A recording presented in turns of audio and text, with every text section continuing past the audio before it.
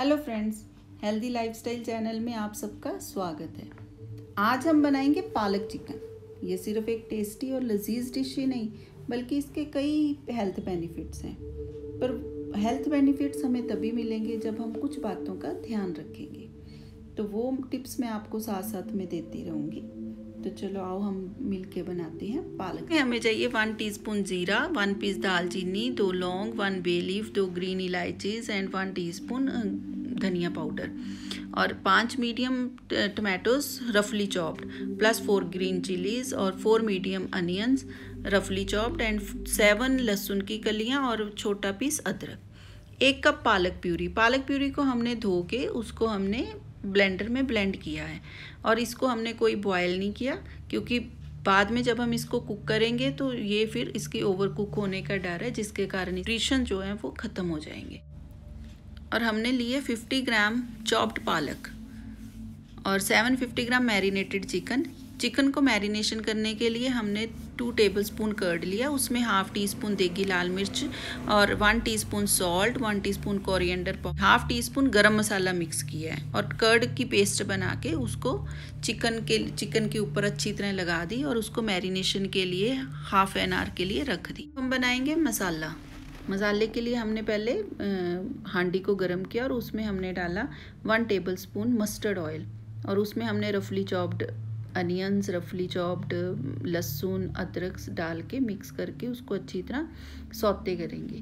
तब तक करेंगे जब तक कि प्याज जो है वो हल्का ब्राउन होना शुरू हो जाए।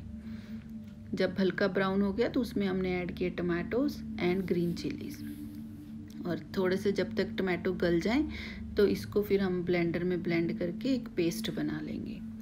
और फिर हम एक टीस्पून मस्टर्ड ऑयल ऐड करके उसमें सारे ड्राई मसालाज जो मैंने आपको पहले बताए हैं, वो सारे ऐड कर देंगे। और फिर उसमें ऐड करेंगे पेस्ट अनियन और टमाटो की पेस्ट और उसमें फिर हम ऐड करेंगे वन टीस्पून लाल मिर्च वन टीस्पून हल्दी वन टीस्पून सॉल्ट ध्यान रखना है कि हमने मैरिनेशन करते हुए भी सारे मसाले डाले हुए हैं तो इसमें हम मसाले उस हिसाब से ही डालेंगे कि चिकन में ज़्यादा मसाले ना हो जाएँ। तो हमने अब इसको सारे मसाले डाल के अच्छे से भून लेना है। जब ये हल्का हल्का ऑयल छोड़ने लग जाए तो फिर हमें पता चल जाएगा कि हमारा मसाला जो है वो रेडी हो रहा है। तो फिर उसमें हम ऐड करेंगे मैरिनेटेड चिकन मैरिनेटेड चिकन को ऐड करने के बाद फिर अच्छी तरह इसको भून लेंगे। चिकन को जितना अच्छी तरह भुना जाए, उतना ही अच्छा होता है। और भुनने के बाद जब अच्छी तरह भुन जाए, पानी सूख जाए तो फिर हम ऐड करेंगे पालक। और पालक को अच्छी तरह ज़्यादा नहीं भुनेंगे, बस एक या दो मिनट के लिए भून के, फिर इसको ढक के बीस मिनट के लिए स्लो फ्लेम पे रख देंगे। और कोई पानी नहीं। आपको लगे तो आप दो टेबल स्पून तक पानी ऐड कर सकते हो। अगर ना लगे तो कोई ज़रूरत नहीं है। और 20 मिनट के बाद हमारा गर्मा गर्म पालक चिकन रेडी है। आप इसको इंजॉय करें नान के साथ, परांठे के साथ, चपाती के साथ। अगर आपको हमारी वीडियो पसंद आई तो प्लीज़ लाइक एंड सब्सक्राइब ज़रूर करें।